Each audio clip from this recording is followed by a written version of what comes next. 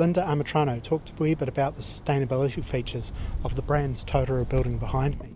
And one of those features was solar water heating, which is a very important technology for sustainability.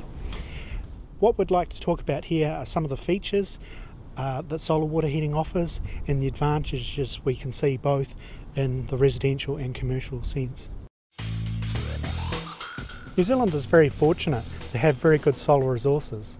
Even on a winter's day like today, these solar panels are receiving a considerable amount of energy. This particular panel is a solar water heating panel. In that, the solar energy from the sun is converted directly into the water within the panel. Another type of technology is called photovoltaic panels, also known as PV panels. In that, the solar energy is converted directly into electricity. These collectors are flat plate collectors. Alternate technology is an evacuated tube system. The technology used depends on certain properties and certain configurations, so what you would use in Auckland can be different from what you would use in Queenstown. Around 70% of the energy used in a residential home is for thermal energy, either heating or cooling. Solar water heating can play a major component in providing for that energy use.